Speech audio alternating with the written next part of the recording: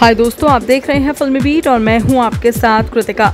घर वालों के सामने असली बीवी संग सात फेरे लेगा आदित्य। इमली को नागिन कहेगी अपर्णा। टीवी इंडस्ट्री के बेहतरीन शोज़ में से एक इमली की कहानी में एक के बाद एक नए मोड़ आ रहे हैं। यही वजह है कि दर्शक इस सीरियल के एक भी एपिसोड को मिस करने का कोई मौका नहीं छोड़ते। बीते एपिसोड में आपने देखा होगा कि त्रिपाठी खानदान घर की शांति के लिए हवन कराता है। हवन शुरू होने के लिए मालिनी की माँ अनु घर में हंगामा शुरू कर देती है। अनु सभी घर वालों के सामने आदित्य और इमली की एक तस्वीर दिखाती है, जिसमें वो दोनों एक दूसरे को गले लगाए खड़े होते हैं। तस्वीर को देखने के बाद त्रिपाठी खानदान की आँखें खुली रह जाती इतना ही नहीं, मालिनी भी आदित्य अपने पापा के घर में पहुँच जाती है।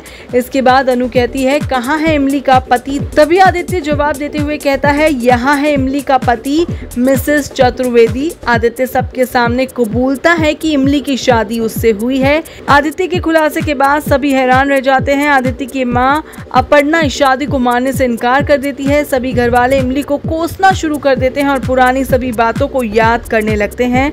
आदित्य की इस हरकत के बाद अपर्णा आदित्य को जोरदार थप्पड़ जड़ देती है।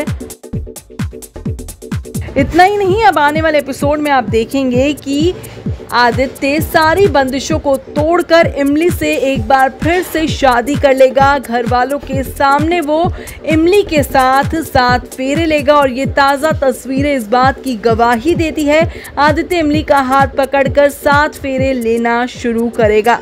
इस वीडियो में इतना ही।